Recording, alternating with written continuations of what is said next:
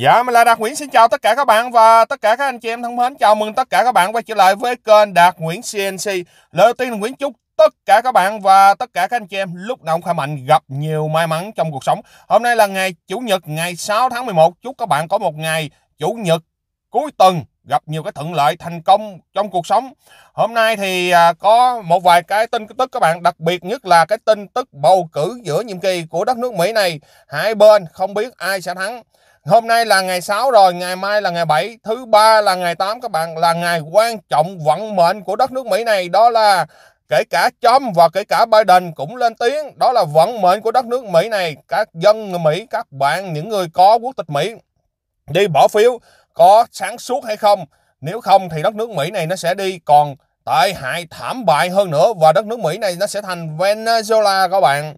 Thì à, hôm nay cập nhật về tình hình à, bỏ phiếu và an ninh của Mỹ à, giữa cuộc nói chuyện của ông Trump đối với người dân à, trước ngày bầu cử và giữa ông à, Biden. Biden lôi kéo Obama luôn. Biden đã quá yếu. Biden đã rơi vào cái thế gọi là thụ động cái thế phòng thủ không thể nào tấn công đảng cộng hòa bây giờ là như lan sóng đỏ mà không biết thắng nổi các bạn nói hay qua đến đó thua nữa nhục mặt lắm á thì à, hôm nay có một cái tin rất là vui đó là vé số của Mỹ. Chưa ai thắng chưa ai thắng vui các bạn tại vì nó thắng rồi mình đâu có thắng. Ok cho nên nó rất là vui. Nó lên gần tới 2 tỷ đô rồi các bạn. Lớn nhất thế giới. Hôm nay Đạt Nguyễn sẽ đi mua tiếp. Rồi mấy này nói chung tốn tiền nhiều quá các bạn. Không à, Mỹ à, hùng vô rút này rút kia mua đã tốn tiền quá các bạn nhưng mà chưa trúng thì à, con số này là lớn nhất thế giới các bạn chứ không phải là con số là lớn nhất nước Mỹ nữa. Dân Mỹ đang khùng điên bá trợn à, gọi là với cái con số là 1.9 tỷ đô la. Nó sẽ lên tới 2 tỷ các bạn. Ở Mỹ nhanh tay nhanh chân mua maybe gọi là có một cái cơ hội để mà à, đổi đời. Có nhiều người nói thôi tôi không muốn đâu. À, ok.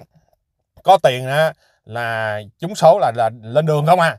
À, thật sự nó cũng có như thế vậy bạn các bạn mà không có biết giữ các bạn không có phước à, chúng đó mất đó à, gia đình tan nát thật sự nó nó cũng có đó.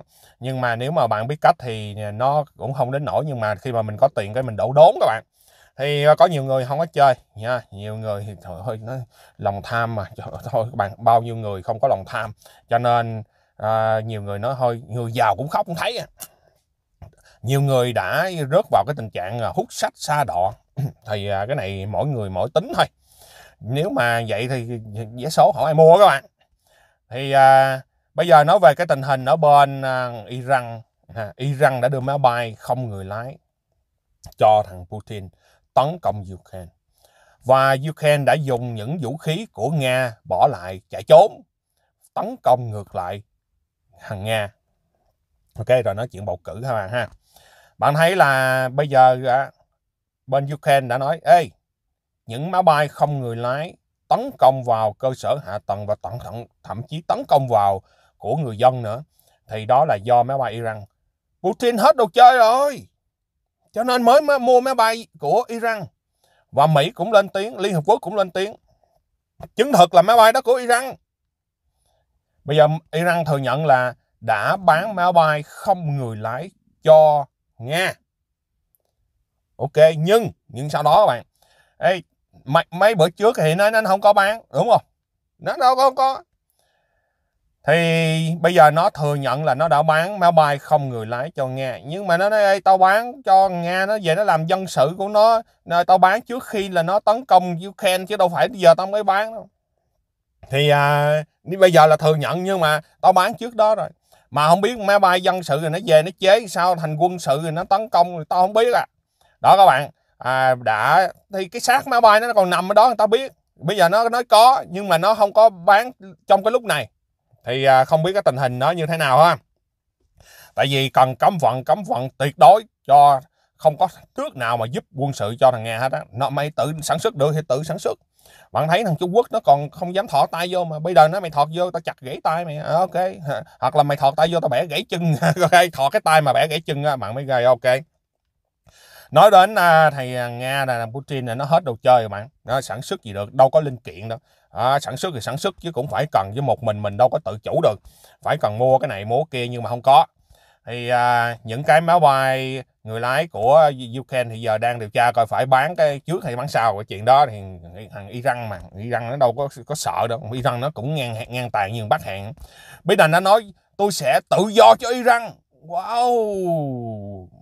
Bị đần dám nói chăm chưa dám mà bị đần dám nói ghê chưa?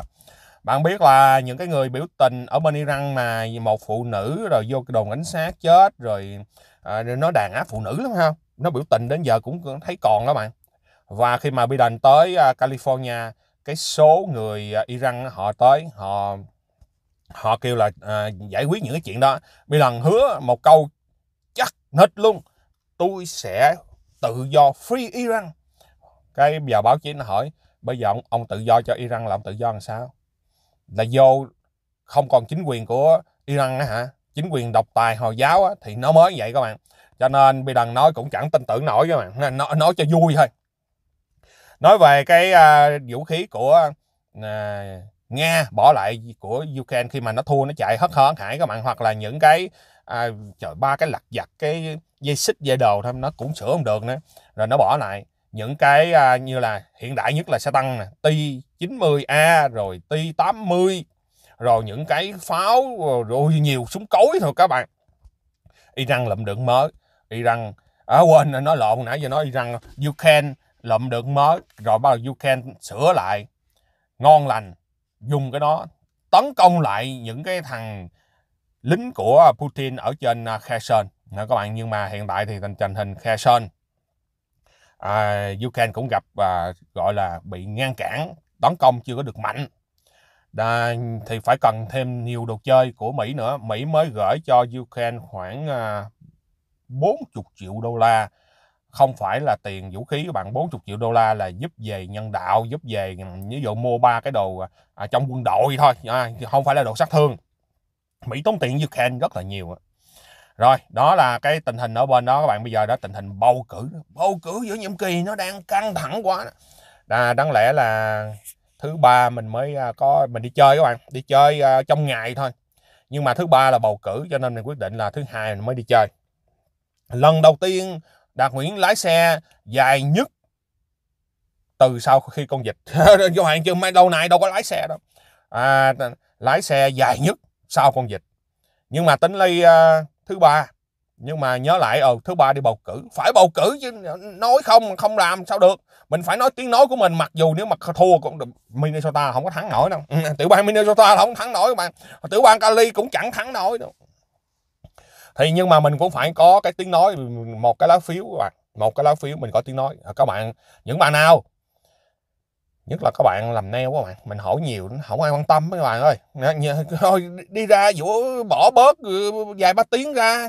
Ờ, đi bỏ một cái lá phiếu cho đảng cộng hòa đi các bạn. Thì các bạn sẽ có được an toàn hơn, tiệm nail cho nó tới, nó quậy quá, bạn thấy ha hãy bỏ một lá phiếu, chứ các bạn muốn mình đi mà mình có một lá phiếu, các bạn có một chục lá phiếu, các bạn không bỏ, hoặc các bạn cả cả ngàn lá phiếu trên toàn nước mỹ, các bạn không bỏ, mình mình làm gì được, mà mình chỉ có nói tiếng nói thôi cho nên cần phải cùng nhau. Thì các bạn mới được an toàn. Các bạn nhà hàng cũng vậy. Nó vô nó lụm tiền. Nó vô tối ban đêm. Bây giờ đâu có dám mở cửa các bạn. Do ai? Do đảng dân chủ. Không để đảng cộng hòa? Nếu mà đảng cộng hòa là biden nó xạo các bạn. Thì bạn thấy là bây giờ trộm cướp tràn lan chỗ nào mấy cái à, chỗ à, nhà hàng nè bán quần áo bán nơi kia đóng cửa sớm. 10 giờ đóng cửa rồi. Hồi trước á, nhiều cái nhà hàng nó đóng tới hai ba giờ sáng bạn giờ đâu có dám. Nó vô một lượt là nó nó như là cơn bão vậy đó ha. Nó vô một phát là nồi niêu son chảo ờ, banh chành hết tất cả mọi thứ tiền bạc là mất hết. Nó còn làm những chuyện tồi bại hơn nữa kìa. Bây giờ bên Cali là đang à, đang lo cái à, à, sợ nó nó nó đổ thừa liền các bạn. Nó sợ là nếu mà cái bầu cử này á mà đảng à, dân chủ thắng nữa thì nó nói bạo loạn những người ủng hộ MAGA sẽ nổi lên. Nó đang nó đang là đi nói cho cái những cái người dân chủ á, nếu như á, mà MAGA mà thắng á, là đảng dân chủ nó nổi lên thì có. Nó có nhìn vô cái đảng à, cộng hòa mà chạy vô tòa quốc hội. Rồi cái vụ mà vô nhà của bà Nancy Pelosi á là một sự gian dựng của nó. Ok các bạn một sự gian dựng. Cái đèn nó hơi tối ánh sáng các bạn trong xe mình chứ mình có một à, dàn ánh sáng à, cao cấp lắm. Để mình chỉnh nó lại cái trời thì nó tối. À, đang ngồi đợi vô làm á. Thì à, bạn thấy là bây giờ á, cuộc bầu cử ở Cali bắt đầu sợ là an ninh đồ nọ kia. Ok bạn nói về cái tình hình thì mình thấy Cali đó bây giờ bạn thấy hôm bữa đòi chút phế Gavin Newsom nhưng mà rốt cuộc ra bầu cử lại dân ở đó nó cũng bỏ phiếu cho Gavin Newsom đảng dân chủ đó cháu bà Nancy Pelosi nó cũng thắng nữa à. Coi như là Cali là hầu như các bạn lâu lắm mới có một đảng cộng hòa làm thống đốc thôi chứ còn hầu như ông Arnold hầu như là đảng dân chủ không. Thì đó nó cho mấy cái thằng vô gia cư mấy cái thằng à, ờ, không phải là vô gia cư mấy cái thằng bất nhập cư bất hợp pháp như cái thằng vô nhà bả đó một sự dàn dựng thôi. Rồi bắt đầu nó đổ thừa cho đảng à, cộng hòa ha. Bây giờ một cái tiểu bang gọi là cái tiểu bang này là cái tiểu bang mà ông ông chăm thua mà ông chăm cắn lưỡi luôn rồi các bạn? Đó là tiểu bang Pennsylvania hiện tại thì bạn thấy là thượng viện là 50 50 bà cà ri nị một lá nữa là 51-50 đảng Dân Chủ gác một ghế à, một phiếu. Thì à, nói bây giờ á, cái cuộc đua thượng viện á, nó đang gây gắt. Chưa chắc là thắng thượng viện nhưng có thể thắng hạ viện. Ủa thắng hạ viện cũng vui các bạn. Nhưng mà cần phải thắng lưỡng viện. Thì à, nếu như họ cần coi như đón bạn thấy đi, xích sao lắm cần thắng ở Pennsylvania một ghế nè chót già một ghế nè nếu như giữ được 50 ghế của Thượng viện Cộng hòa hiện tại và thắng được ở Pennsylvania và Georgia hai cái ghế Thượng viện nữa thì thắng 52 ghế. Còn nếu như mà không thắng thì thắng ở Pennsylvania một ghế thì được là 51 51 50 thì vẫn còn thắng các bạn. Bên kia nó học thuộc số 49 thì bà Carini cộng vô là 50, đảng Cộng hòa 51 thì nó nó lật lại. Và cái tình hình này nó cũng khó nhai các bạn. Hay khi mà ông Trump hoặc là một thượng nghị sĩ của đảng Cộng hòa đón là chỉ có thắng được 52 ghế thôi mà chưa biết chiều trò như thế nào. Bạn thấy bên sâu về nhà không? kêu tới giám sát rồi này kia nó nó không cho đứng gần sách nhau hai thước mà nó kêu nó không chịu nó coi cách xa hơn nó cuối cùng nó nó không cho vô luôn đi ăn cơm xong quỳnh lề nó không cho vô nó nó khóa cửa luôn nó chơi trò trò bẩn thỉu. Và nó đang chơi trò bẩn thỉu. Những cái lá phiếu mà gửi về không có chứng nhận không có mọc không có ngày á nó đếm luôn. Thì ông trump nói ê đồ bị ổi tiếp tục rồi kìa. Thì à, cái à, một à, tòa án đã chặn lại và nói là những cái lá phiếu đó là chưa có verify á, là chưa có cái gọi là kiểm chứng á, là không được đếm. Thì à, nói thòng thêm câu nữa cái nghĩa này không phải là gọi là ăn gian, nhưng mà đây là luật. Đương nhiên nó là luật rồi, nhưng mà nó là luật rừng các bạn. Nó chơi qua mặt hết tất cả. Thì à, không biết là có thắng nổi hay không. Khi mà Biden kéo luôn đàn anh của mình là Obama tới Pennsylvania. Trong khi đó thì à, ông Trump cũng tới Pennsylvania. Đó là một cái tiểu bang chiến lược, chiến trường hiện tại các bạn. Thắng ở đó cũng được, chốt già thì không biết làm sao nữa. Hiện tại tới đó bây giờ là ủng hộ cho một ghế thống đốc một ghế à, à, thượng nghị sĩ ở trên à, trên thượng viện không thì bây giờ Biden tới kêu gọi hãy bỏ phiếu các bạn hãy đi đất nước Mỹ. Giờ vậy à, hãy bỏ phiếu không thôi là đảng cộng à, hòa nó sẽ làm cho banh nước Mỹ. À, không biết nó làm banh nước Mỹ hay là như thế nào các bạn. Nói chung là à, lời nói của Biden không quan tâm. Giờ quan quan tâm lời nói của ông Trump. Ông Trump nói như thế này cũng tới Ben uh, nhà luôn. Thì là trước khi nói Banso về nhà thì Philadelphia nó mới nó mới uh, xả xả tiếp các bạn. Tại một quán bar. Một quán bar thì bên đó thì bạn biết rồi mấy thành phố Phila nghe nói cũng sợ lắm các bạn ơi. À, tối ăn nhậu rồi súng đạn rồi dân gì đâu không. À, mười mười mấy người bị thương như 15 người bị thương. Hai người là bị thương nặng đó bạn muốn an toàn thì hãy bỏ phiếu cho đảng cộng hòa. Ông trump nói các bạn muốn đất nước mỹ này vĩ đại trở lại các bạn muốn đất nước mỹ này an toàn trở lại thì hãy bỏ phiếu cho đảng cộng hòa. Đừng bỏ phiếu cho đảng dân chủ mà các bạn muốn đất nước mỹ này nó tiêu tùng. Ơi nó nó không ảnh hưởng. Những con người Việt Nam cũng vậy các bạn suy nghĩ nó đâu có ảnh hưởng đâu. Giờ tôi vẫn làm việc bạn nên nhớ những cái người mà đang thất nghiệp à, họ làm giống như là những cái người làm ở à, bán nhà hoặc những người văn phòng những người giao tiếp đăng tay của họ cần phải đẹp mà họ họ ở nhà họ đi vũ neo là họ đi làm móng làm gì. Cho nên mình cũng thất nghiệp luôn các bạn. Đừng có nói là mình không ảnh hưởng. Và an toàn nữa hãy ra bỏ phiếu. Ông trump nói hãy ra bỏ phiếu. Cho nên mình thứ ba là mình không có không có đi mình đi thứ hai. Rồi mình à, ở nhà thứ ba rồi chưa chưa à, mình à, ra bỏ phiếu các bạn. Hãy bỏ phiếu cho đảng cộng hòa nắm lại à, không phải cuồng đảng nha mình chẳng có đảng nào. Nhưng mà hiện tại là phải cần bỏ phiếu cho đảng cộng hòa để họ nắm lại hạ viện các bạn. Và Biden đã biết rồi họ sẽ đằng hạt tôi nếu tôi nếu họ lấy lưỡng viện mà không biết quách đời heo nó đằng hạt cho tao cái gì tao không biết nó quách đời heo mà nó biết nó đằng hạt. Ồ, không biết. Mình không biết mình lỗi gì mà sao biết người ta sẽ đằng hạt mến đó các bạn. Cho nên họ sẽ lấy lại lưỡng viện nhưng mà lưỡng viện hiện tại lưỡng viện thì ờ, nếu mà nắm Biden sẽ sẽ thua. À, và sẽ cái à, nhà sẽ thắng thì Biden sẽ cái năm 2024 Biden cũng cũng thua luôn à. Nếu mà họ thắng nữa họ thắng tiếp các bạn. Ở dưới hạ viện thì bây giờ thua 5 ghế. Bây giờ cần giữ luôn là các ghế đó và thắng 6 ghế. Ok thắng 6 ghế. Mới thắng các bạn thôi còn là mệt lắm á. Nhưng mà nói cơ hội thắng 6 ghế có thể thắng. Ok mà Ờ, Mike Pence nói thắng tới 30 ghế kìa. Nghe sướng lỗ tai các bạn nhiều không biết có có hay không. Thôi kệ thắng được là thắng. Thắng nhiều mới có tiếng nói mạnh còn mà thắng ít á bạn biết rồi nhiều khi bỏ phiếu cũng có nhiều nhiều rhino đà mang danh đảng cộng hòa nhưng mà nó bỏ phiếu ngược cho đảng dân chủ bạn thấy à? Cho nên các bạn phải thắng nhiều phiếu nữa thì mới có chắc cú nhưng mà họ chưa chắc là thắng. Nhưng mà nhìn cái thế thì có thắng. Đó thì à, phải thắng được à, 6 ghế mới lật ngược lại à, quốc hội và họ sẽ kiềm chế những gì Biden muốn làm. Bây giờ hiện tại Biden đang lên là tất cả các ngành than mỏ ở Mỹ phải shut down, shut down, không có được làm nữa. Bạn phải xài năng lượng quạt gió. Mình không biết quạt gió đâu có lên 2 năm rồi. Pin mặt trời cũng chẳng thấy, quạt gió cũng không. Tại sao đảng Cộng hòa họ phản đối các bạn? Khi mà bạn thấy quạt gió ở tiểu bang Texas Houston, họ họ cũng xài đó, bị tê liệt hết, bị uh, tuyết mùa đông rồi bạn thấy nó bám vô mấy cái quạt đó, rồi mấy cái quạt nó cứ ngắt luôn, không có quay nữa. Tê liệt hoàn toàn. À, thì uh, cái này nó cũng cần chứ không phải không thấy mình thấy Việt Nam giờ cũng đấy ở vùng Cà Mau biển nó quạt gió quá trời nó chiếm đất rất là nhiều các bạn à, từ từ thì cũng cần phải đổi qua chứ không phải là không nhưng mà hiện tại chưa được.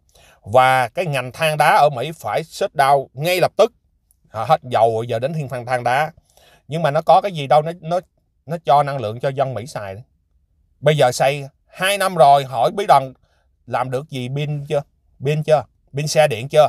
Pin mặt trời cho nhà cửa xài chưa? Giá rẻ chưa? 40 ngàn 50 ngàn một căn nhà. Một cục pin xe điện 30 ngàn mà cứ cứ, mà cũng đâu có đâu bạn. Bạn nhìn cái Tesla á. Rồi bạn nhìn cái xe Cybertruck chất xe chất quảng cáo là cách đây là hai năm mấy, ba năm rồi. bây giờ là Elon Musk nói năm 2023 bắt đầu sản xuất chiếc xe Cybertruck.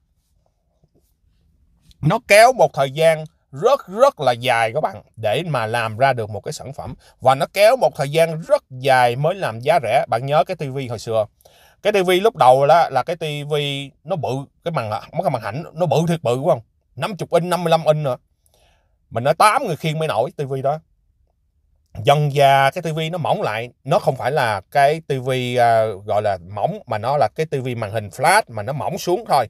Khiêng uh, thì chắc cũng hai người khiêng cũng được các bạn. Nó nó đỡ hơn cái tivi mà công cà công kềnh rồi bạn mua những cái tivi đó, đó là hồi xưa đó hả một cái tivi là cả chục ngàn đô la cái tivi màn ảnh bự đó, cả chục ngàn đô la. Sao nó xuống giờ bạn thấy cái tivi 70 inch 50 inch, nó có nhiêu? 500 700 thì tùy theo cái loại, nhưng mà cái giá nó rẻ nhất là 500 mấy các bạn. Nếu mà mua cái tivi giờ nó đâu có gì đâu, thì nó phải cần có thời gian nó phải, cái cái khoa học kỹ thuật nó kéo xuống, nó mới rẻ. Đụng cái cắt này, đụng cái cắt cái kia dân Mỹ nó cũng đâu có tiền đâu. Hỏi dân Mỹ không có tiền dân châu Âu nó càng không có tiền và dân Việt Nam càng càng không có tiền nữa. Những cái thằng mà đi mua xe điện của xe VinFast mấy thằng đó đó nó cùng một cái hệ thống của nó. Chứ còn dân làm gì có tiền mua các bạn. Đó làm gì có tiền mà mua tiền điện lúc nào cũng tăng. Xài rất là tiết kiệm. Mà đã đã, đã một cái sai lầm này của bí đần này là xăng không được sản xuất. Đi nhập thôi. Cái khí carbon nó vẫn vậy mà nó đâu có nó đâu có được là sạch sẽ gì đâu. Tại vì anh đâu có gì đâu mà anh cản lại. Rồi đến giờ thăng đá. Đó bạn thấy tình hình nó rất là căng thẳng. Hãy bầu phiếu cho đảng cộng hòa các bạn để cho họ thay đổi cái tình hình. À, những người đi làm sẽ được nhiều cái quyền lợi hơn. Đó là những gì mình muốn chia sẻ các bạn. Mình xin tạm dừng video đây. Xin chúc cô chú chị em lúc nào cũng khỏe mạnh gặp nhiều may mắn trong cuộc sống. Và hẹn gặp lại sau. Xin chào tạm biệt. Bye bye.